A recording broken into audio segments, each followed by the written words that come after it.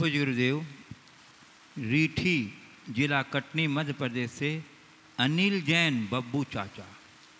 कह रहे हैं, गुरुदेव, जीवन की सफलता क्या है और उसे कैसे जीना चाहिए?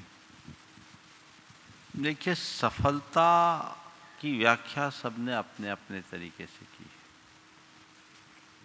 सफलता की परिभाषा एक पंक्ति में यूँ की जा सकती है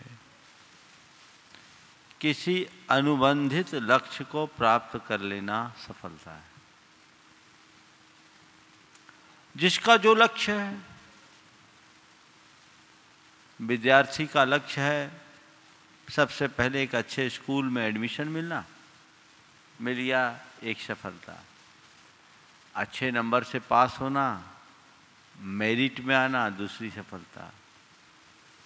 प्रतियोगी परीक्षाओं में पास हो जाना तीसरी सफलता।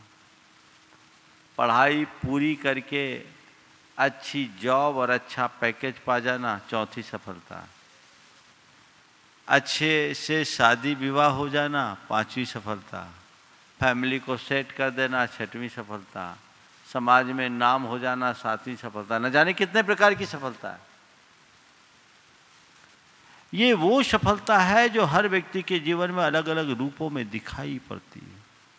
जिस व्यक्ति का जैसा लक्ष्य होता है, उसके जीवन में सफलता की वैसी ही परिभाषा बन जाती है। लेकिन मुझसे अगर आप पूछो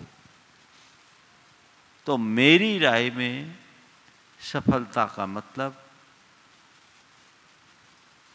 जीवन की हर स्थिति में स्थिरता बनाए रखने की क्षमता विकसित करना ही सच्ची सफलता है। जो हर पल मन में प्रसन्नता को जीवित रखे, वो सफलता है। बाकी सफलता नाम की है।